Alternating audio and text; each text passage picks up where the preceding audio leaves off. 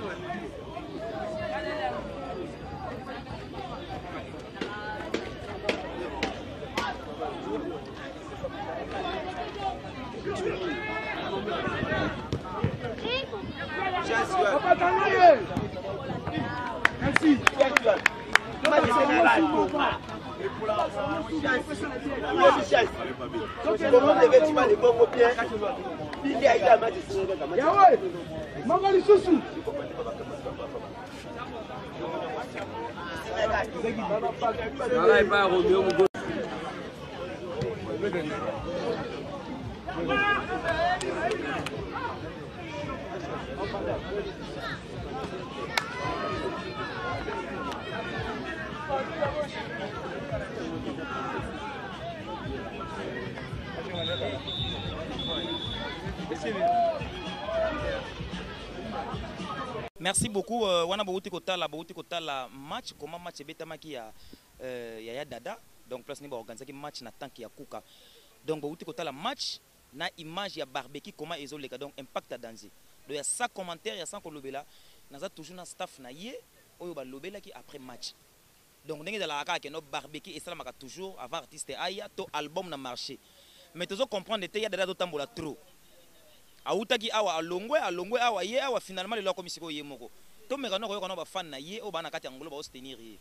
mais nazo comprendre pe te makambo ekomi kaka kosalama kaka boye omona musicien na Congo mais ba staff ne na kati ya Angola bao sala makambo kaka neti na film donc merci à vous b'artistes na biso congolais oyo bao sala fierite ya musique ya Congo tango bozoya pe na Angola tozo yambaka bino avec force Mais bo kendaka toujours na sango te que na yaki Angola na betaki salle ya 2000 places, salle ya 2000 places na Angola elaa te. Donc soki obeti Atlantic to obeti Cinafrique oko loba te que no tondisaki 2000 places. Po chaleur wana Angola okokaka yango te. Donc toza na ba responsables oyo ba salaki barbecue ya Ya Dada, ezalaka Ya Dada nani? Ya Dada Genu hein? Ah Ya Dada Genus donc toza awa na staff na ye. Tomeka nao kotuna bango ba question ata mwa moko moko donc merci na batu tout bao soutenir nga Afrique du Sud na maboko eh Belinda Kisoka trop luxe pourquoi pas de saluer maman ya bana na nga Sylvie Mafuta maman na Djogo na Chico Pikene donc ba mbote ebele batoza papa boni sante ya ya calme ya pepele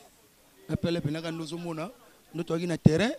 match ebetami donc ba Dieu merci beaucoup toyaki bina na Lupemba Lupemba eza trop makasi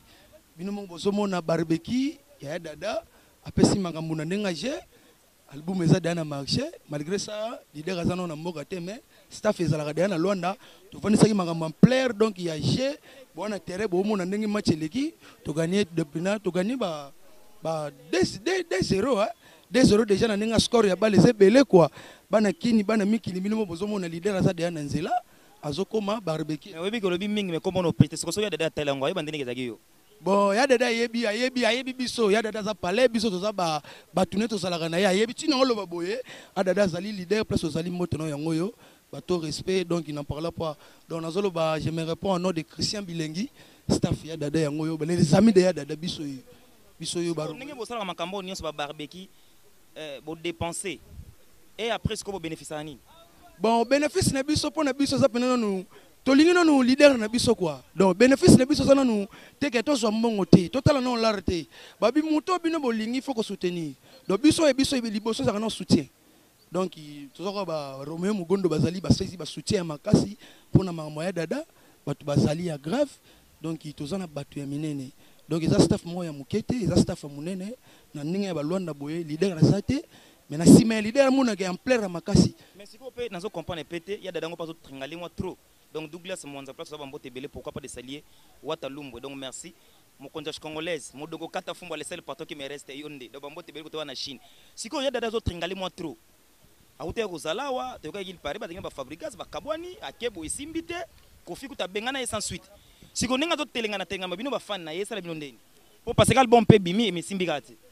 Bon merci pena na parole wana neti parole ya kotelengana musicien aza mwasi ndumba neti likambo ya miziki bino tout bato boyebi bosalaka ndule boyebi Ndule eza bongo ndule esengaka ye moko boso toza lisanga esimbi esimbi soki pe esimbi te tokabwanaka toyebi masolo ya kokabwana toyebi place ebanda bon na minute oyo avenir ya vie ya leader ndenge eza wana esengi donc esengaki azala nano independa asala ye moko asala makambo na ye po jeu ezala bien bon na minute oyo nde tokosola boye adada aza ye moko makambo ekende pepele donc boulot ya ndule eza pepele donc ya kobukana te toza dana libumu na marché ba barbecue donc yango donc oyo première barbecue naye na ndenge alwanda nayebisa bino eza inonde terrain donc eza craqué match en plaire donc côté barbecue ezali nayebisa bino no tokomi te mais mabe eza déjà trop donc nti boyokami mwa makelele donc bocomprendre donc napesi nano mbote na nga na sere na nga na mikili france donc nicole vangu mbote na yo yango oyo donc trop trop trop na leli yo donc tozaka yebike na kozongelo mama posa na mwa moke posa na pena mwa moke donc merci beaucoup na bato nyonso basuteni ngai noezi noezi noezi tia na se donc noezi bambote ebele place oza pourquoi pas ko salie oyo azali euh, coiffeur na ngai privé na kati ya salon tgv na palanka donc merci beaucoup mampuya mama ozoki ma caméra papa boni santé ya papa la ton ingénieur El Kaseti toza awa toyaki mpona bale mpona barbecue ya masa na ngai dada naza parmi ba organisateur ya makambo oyo sikoyo ba chance nini oyo ozopesa ya dada ndenge asali carrière solo na ye moko ah ba plein bonne ba plein bonne chose ya wa masa na ngai pala yebi na bandali kotasa yebi ki elikasi eti ngai za boye mutu na ye ndenge aza deja boye so atali emission internet ya moke elikasi eti ayebikaki oyo ya ngai ya palin Ba plein de bonnes choses na masta na nga dada génie ya yebi to banda makambo oyo de pour longtemps ti toye na Villa Nova ti nde makambo ekomi na ba niveau oyo napesaki makambo tout de 100% bino moko moni bale betami pepele tokenda si na fona bige j'ai déjà ekozala bien parole de maître ça va yinda mabe aïe na nga na mingi akoloba te Mekano kopesa mbote na deux ou trois personnes bato baotala yo. Napesi mbote na ngai na etudiant Picho Boussole, stabilita mokonzi, maître héritier sinam FBA patron chauffeur maître. Napesi mbote na vene na ngai Gauthier Muzama saka saka patron. Merci beaucoup. Papa boni santé. Santé bien grand journaliste. Otie combien de buts? Natie bia but mbe na beti ka meilleur joueur. Ah,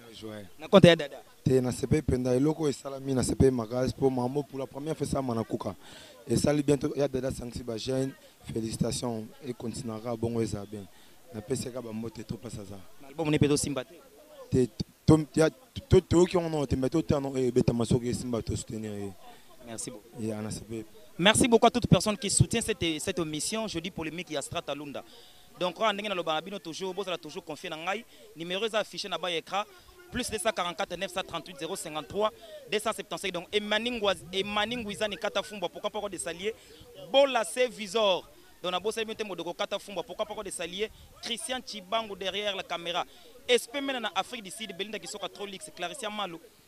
Ba mbote ebele bantu bao soutenir Strata Lunda. Eh papa, kota ko ndeni sante. Calme penza ba trop ba nini. Ah na mon déclarer moi trop que na zio te ndeni sante vrai. Hein? Te na ngolo nzambe pe. Yo mto chebi. Yeah. Oh biter yo yo. Ba soutenir sino zo pesa na na ya dada. Bon, na sepeli mingi pona ya dada. Tara match ya lopar ebeti na boko beta match ya lopar pa ya dede. Euh, na boko beta match ya leopard pa ya dada na boko tala kutu match ya leopard mpo na ya dada na ye mpo na beta mpo na lokumu ya dada ezala likolo banini na bita oyo jogo boda neima mpo ya dada na tie bango mekano akopesa mbote na deux personnes bato bakotala yo bon napesi mbote tro na mama viki bebe willem mama na mama gistanvi euh,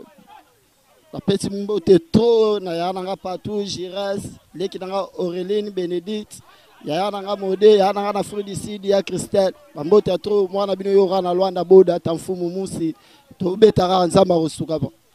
trop la trop akoloba mingi te seke Ya merci beaucoup là vous voyez n'est sino desordre ya danze eza na papa eza na papa eza barbecue eza normal ya normal donc merci beaucoup ozomona wana eza bitumba zwa yango christian christian zwa eza barbecue wana eza bitumba ebimi na na nini ya dada parce que ezalaki euh, donc voilà comprenez que non c'est l'ambiance c'est l'ambiance de barbecue ouais wana pona ya dada donc voilà quoi c'est l'ambiance ya dada donc euh, voilà kana terrain ya kuka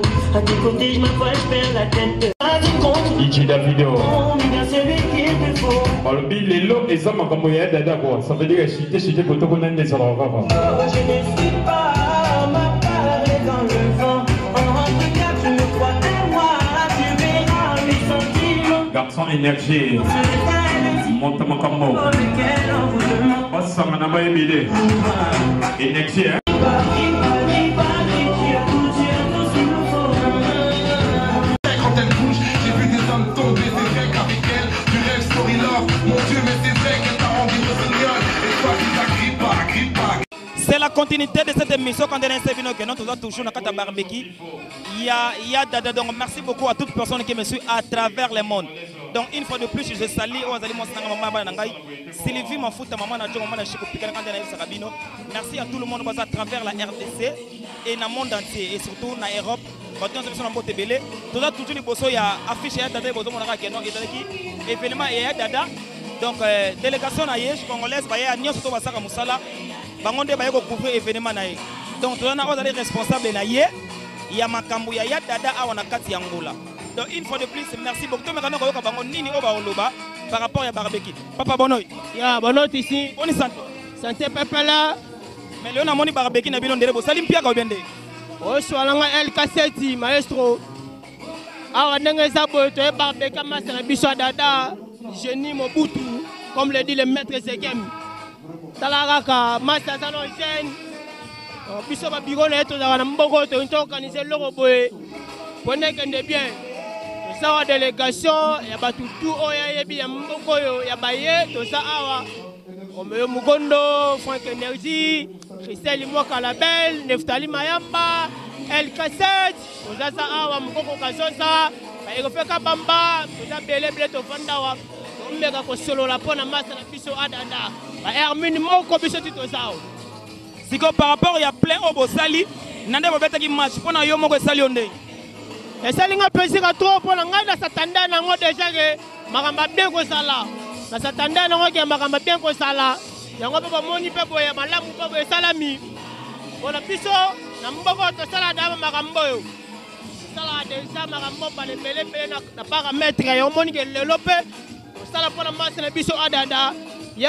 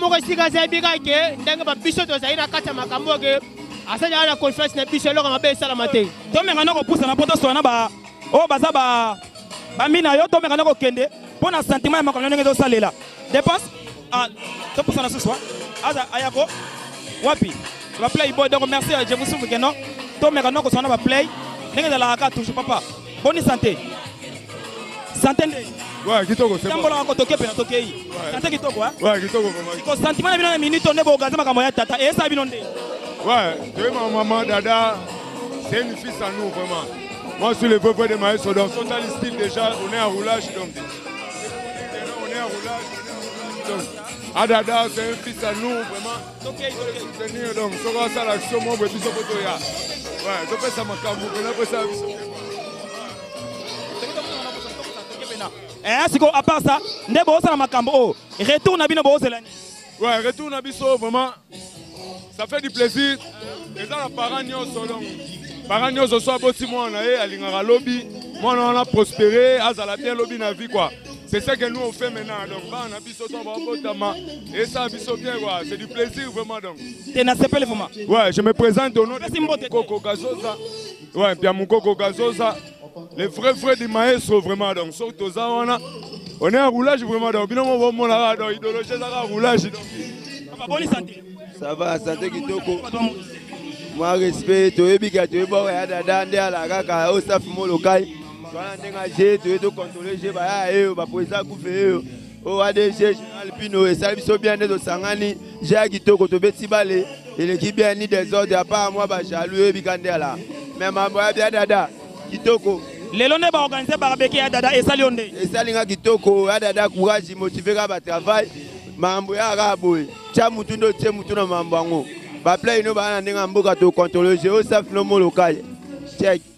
Ya merci beaucoup. Père, bonne santé.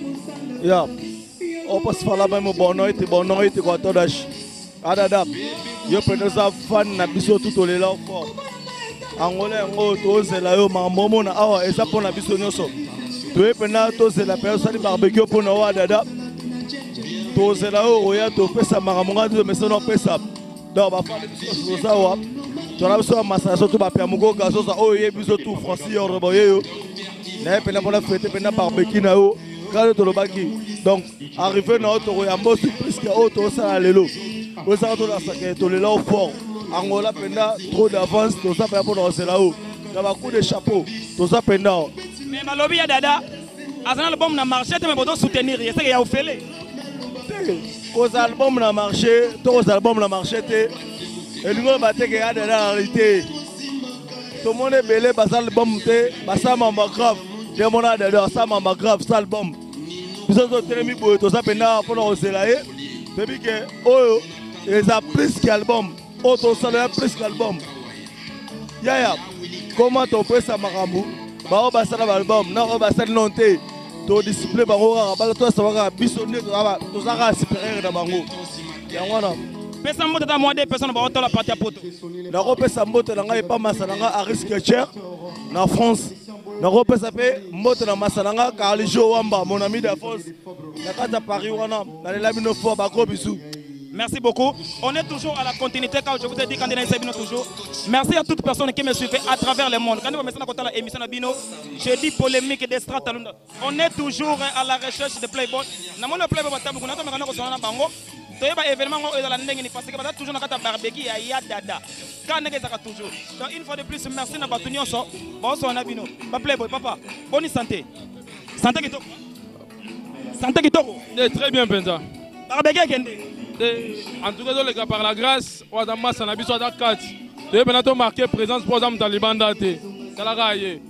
tofulaka masa na biso akenda akenda akende esa biso genre nayebi ke tokosola ebi esa elengi papa boni sante sante frère ouais, sante kombo na wayanga kombo na nga mpenza antonio présence na yo na abarbeki ya dada esali nde bon présence na nga na abarbeki eza premièrement garçon oyo babengisa oyo oh, aza na barbeki ye lelo oh, na presaka ye na mosala asalaka alors nga mpe teke sportif naye kotyama coup de pouce ndenge ezalaka kaka mpo asalaka mosala be foko tia coup de pouce ça c'est bien pena sanga ezanga mpona bongo merci père ndeni sante bien mpena mais balobi ya dada aza na album te mais bozo soutenir ye mpo na nini bon te soutenir etalaka yo mama nde ezalaka moto nyonso aosala eloko esengaka pui mpo azwa mpe force lisusu yango toza na nsima na ye toopuye vraiment Mais balobi que non il paraît barbecue yango bosali mpiaka mais bozo guentara kaka ti sikoyo bato baoyaka te non mais moni yo mambo yango ecoïncide mpe eh, na match mpe nde ezalaki lelo bisu mpe baobongama bazoya donc toza na biso awa ah, ti ntongo toza awa evenema eza ti ntongo eh, evenema eza mpena ti ntongo toza na bango mpena awa ono 18 heure bato baza boye en direct merci beaucoup christian cibako on est seulement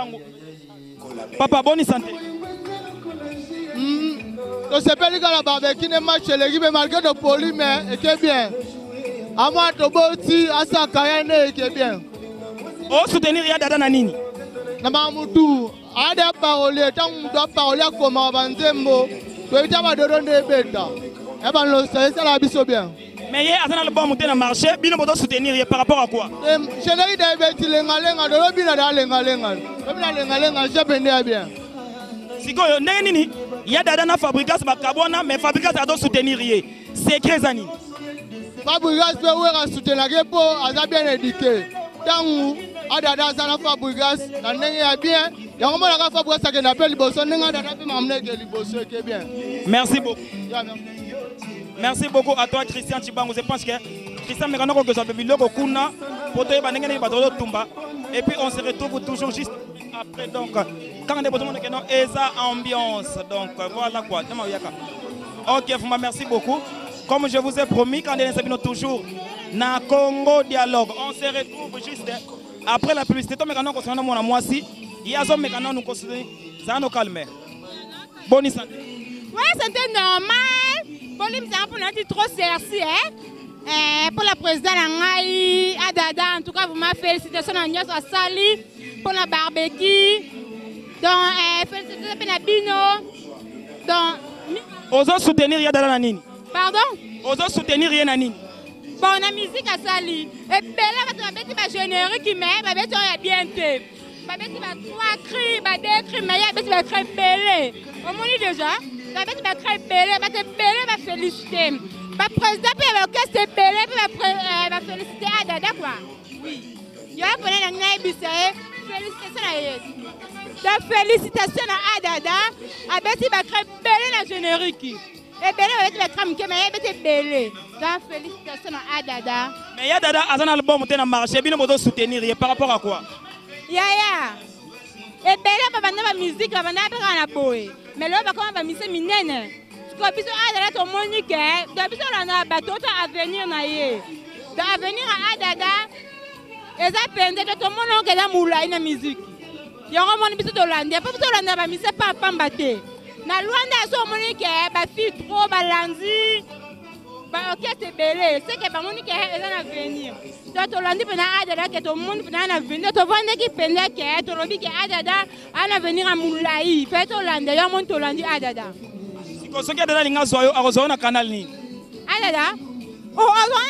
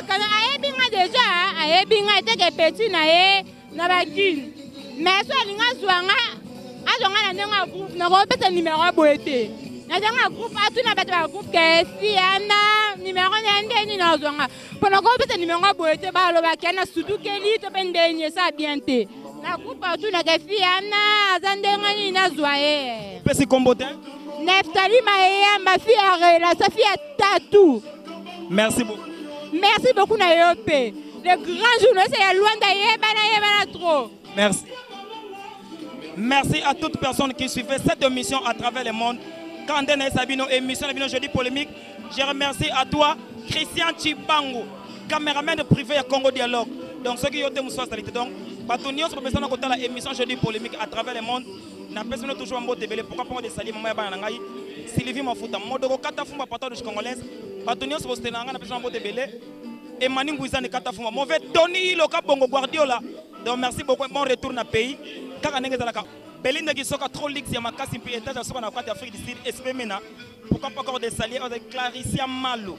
hein, Dorina Lukusa Inès Massamba en direct Afrique du Sud donc mère double de merci JDT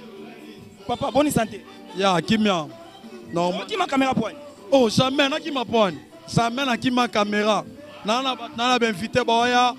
eh, tellement biso to ba organisateur ya mam fona sala sala wana pembeni po na yambaka yambaka bango bazwa esika penda ya kozala. Ome yo mukondo yo moko moto sima kama moto kima camera. Ya dada ane loko te na marché mais moto soutenir ye par rapport à quoi? Te eza te kaka na eloko te toya deya na eloko toza deya na générique na biso lengalenga malete na minute oyo na kit parade na ndenge ya kinshasa eza deuxième eza deuxième yango tellement président na biso azolinga alongwa congo aya awa na kati ya angola na luanda yango tosali barbecue spécial oyo papa na biso fabrigas maestro ayebaki na kopesa ndingisa ya kozala na biso eke tokozala na milulu lelo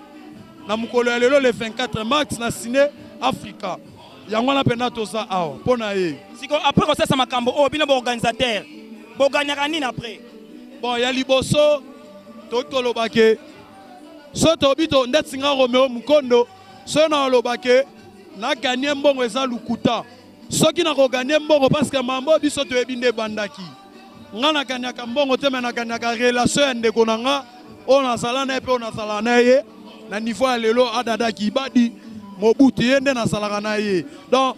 kotya mbongo lokuta me nga babengaka nga de disque na grâce ya ye nde lelo nga nabengama de disque donc so nabimisi mbongo donc eza kaka ke naobenda oyo ye abimisaki na aria na ye yango ngai naofuta yango babarbeki nyonso elekaka bien sauf kaka barbeki na bino ebimisi bitumba bato babagare na match na comprendre te secret na bino bosimaki kisi nango te eza bampifo eza bampifo mpifo eza na kikongo eza biloko ya kati eza bantima babiloko tobendaka tomatisa yango likolo donc Eza ku te ke barbecue eleka bia mpo mbala liboso esama na kati ya Luanda barbecue ata ya ba grand oyo ngai nayebi nakendaka ba barbecue ya bato la plupart elekaka na ba terrain jamais barbecue esama na kati ya salle comme Sinafrica e grande salle ya Angola eleki tous les salles ya Angola mobimba ya Luanda moma c'est Sinafrica donc ya biso soki mwa omona ye mwa bitumba ezalaki mwa mpifo amatisaki mpifo emataki amataki amataki esali bulu yeke nde mpe esali bongo sikoyo menga nakopesa ya dada mbote opesa na baencouragement ya nakopesa mbote na president na ngai eh, le a genie genie genie adada le genus nayebi ke mpifo makambo eza wana ya makasi nayebi ke makambo eza wana napesa yo bambote mopresident nabengaka yo mobos yo yeba esika oyo touti donc ngai nayebi kaka ke tosangani ebele mpo topesa force tosimba yo na loboko tokeye liboso bango mpe babanda boye lobi efuta bango ngai naotala ya ngai lelo te me nayebi ke lobi nakoke poto lobi nakozwa mama makasi bato balukanga mpo bazwa libanga na area oyo yango wana naza awa bosanga bamboto ebele Na salu yo pena parce que na lingaka yo mingi pe oyebi ke nga na lingaka yo mingi. Mon posa na ko cha ai. Aïe Donc merci beaucoup papa, pesa moi deux personnes mbote, pour ça la moi c'est bon. Ya, na pesi mbote le tite pecho boussole stabilité mokonzi. Patron maître héritier cinem FB ya Doudou Bessa Austin Charpin ou encore présidentiel la maestro ce game. Merci beaucoup à Dada mon ami. Yo yebi El Cassette yeyo. Aïe. Merci beaucoup, on se retrouve à la prochaine émission Christian Chibangu. Aïe.